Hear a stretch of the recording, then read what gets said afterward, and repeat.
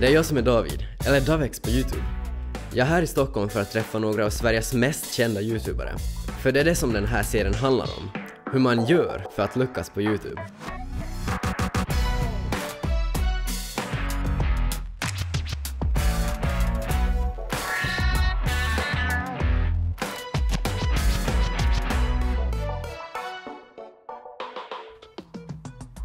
Nu sitter jag här på hotellrummet och väntar på Evelina Forsell. Evelina är en youtuber som har nästan 400 000 prenumeranter runt om i hela världen. Vi ska kolla med henne hur hon har gjort och vad hon kan säga om målinriktning och hur man får folk att hitta sin kanal. Målgrupper handlar om att veta vem du riktar dig till. När du vet hurdana videor du själv vill göra kan du också bättre se vilka målgrupper du kan nå. Att upptäckas handlar om hur man får folk att hitta just dina videor. Till exempel, skriv titlar och hashtags som rör saker som publiken redan söker efter och vill se. Hi guys and welcome to my channel. Today I'm finally going to show you how I went from black hair to silver hair as I have now.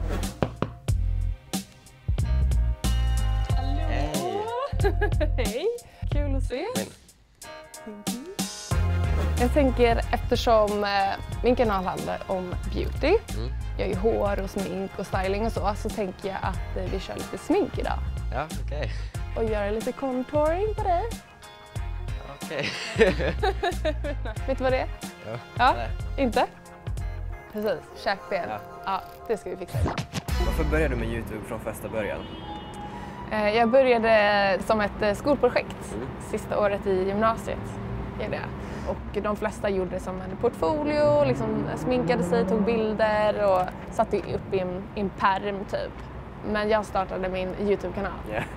och det, jag fick MVG så att eh, jag, jag tror att jag gjorde bra ifrån mig. När du gjorde din första video, så vad hade du för utrustning?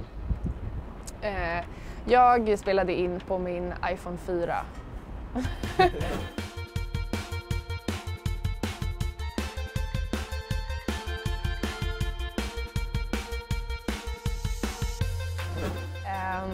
och jag körde ju med eh, bakre kameran för att jag ville att det skulle bli så bra kvalitet som möjligt. Så det var ju så många videos som jag inte kunde använda för att jag var inte i fokus. Jag såg ju inte mig själv. Jag satt framför mitt fönster, bara satte den på liksom eh, lilla kanten, satt jätteobekvämt och, och bara filmade mig själv. Alltså det är verkligen det, folk bryr sig inte i början. Alltså, det är ändå personligheten som man stannar för.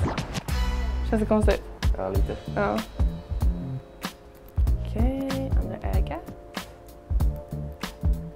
Så lite panna över hela ansiktet i princip. Eh, ja, alltså så som jag blev upptäckt eh, på sätt och vis var ju när jag gjorde en sminkning eh, som var som en tag, challenge, typ en sån, som gick runt så att väldigt många ville se det.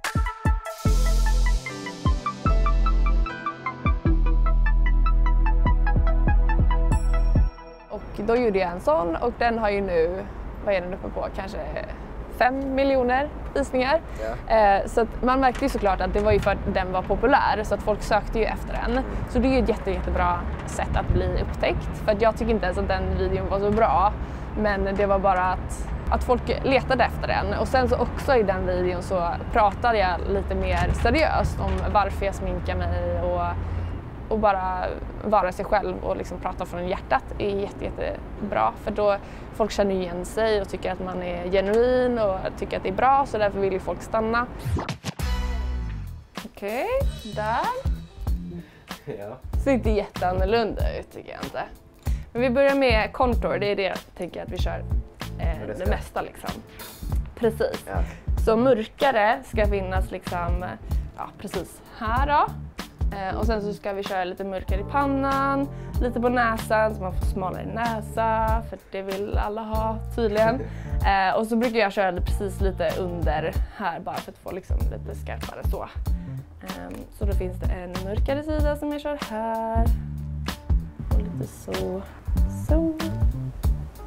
Och så kanske lite det är väldigt mycket olika målgrupper dock som tittar på mina videos. Det är vissa som kanske bara följer mig för eh, ja, mina lookbooks där jag visar upp liksom hur jag klär mig och så. och sen de inte bryr sig alls om smink till exempel och sen så är det ju de som älskar mina sminkningar. Så det är väldigt olika och sen så är det ju, jag själv tycker att det är roligt att det är ändå folk i, i min ålder som tittar på mina videos, vilket jag tycker är skönt. De som följer mig är ju ofta ja, men lite lik mig, tycker om att liksom med styling och allt sånt där. Eh, så det, det, var ingenting jag tänkte på men det blev ju väldigt, väldigt bra. Och där. Så får du lite put också. Läpparna lite så här. Ja. Va? Alltså det finns ju väldigt många som vill börja med Youtube. Mm. Så vad har du för tips till dem så de blir upptäckta? Um, det, alltså det som alla säger, typ var dig själv. För, men det är ju verkligen bara så, för det finns ju så otroligt många som är Youtubers nu eller försöker. Eh, men man märker ju att, att de som är precis, alltså verkligen sig själva, de, de kommer ju någon vart. Eh, och att man inte, man inte slutar. Alltså om du har en passion för det här så, så, kommer, det, så kommer det gå liksom, om man bara försöker. Det kanske tar flera, flera år men eh, ja, alltså det, man kommer ju dit man, om man verkligen vill. Mm. Så, så tror jag. Så tar jag en lite mindre. Den tycker jag lägga lite på ögonlocket. Så, andra.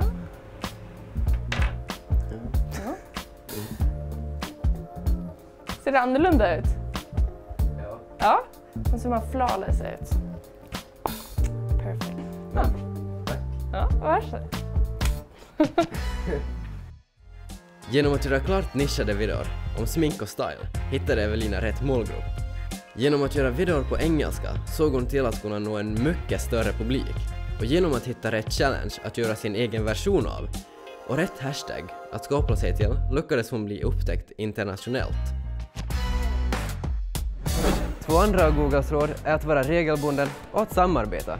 I nästa avsnitt så ska vi kolla dem med en riktig gamer, Figgen.